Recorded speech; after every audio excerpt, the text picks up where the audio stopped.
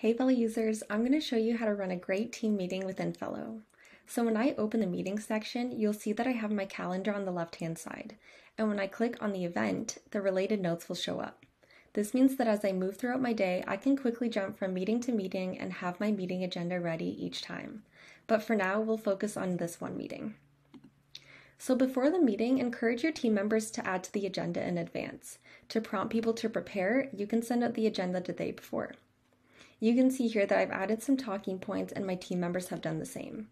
This is really great because meetings tend to be way more effective and productive when all attendees come prepared and there is a clear agenda. I can also jot down any thoughts that are just for me in this private section here. When it's time for the meeting, we all have access to the agenda to add notes and check off talking points as we go. And in Fellow, you can add notes as talking points, bullets, images, and you can even embed videos. So all you have to do is click on the forward slash and just click whatever one you'd like to add. This is really great for customization. And feel free to add any clarifying questions in the comments. So just click on the three dots and add a comment.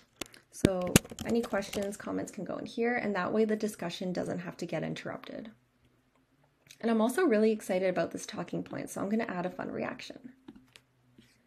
Don't forget to document clear next steps and action items as you go. Pro tip, you can actually use the square brackets as a keyboard shortcut to add in action items quickly. Once the meeting has ended and action items have been assigned, I can send out the agenda via Slack, email, through Zapier, and even as a link.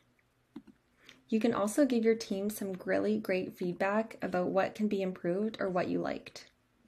To find the meeting notes afterwards, all you have to do is click on the uh, calendar event again, and the meeting notes will reoccur.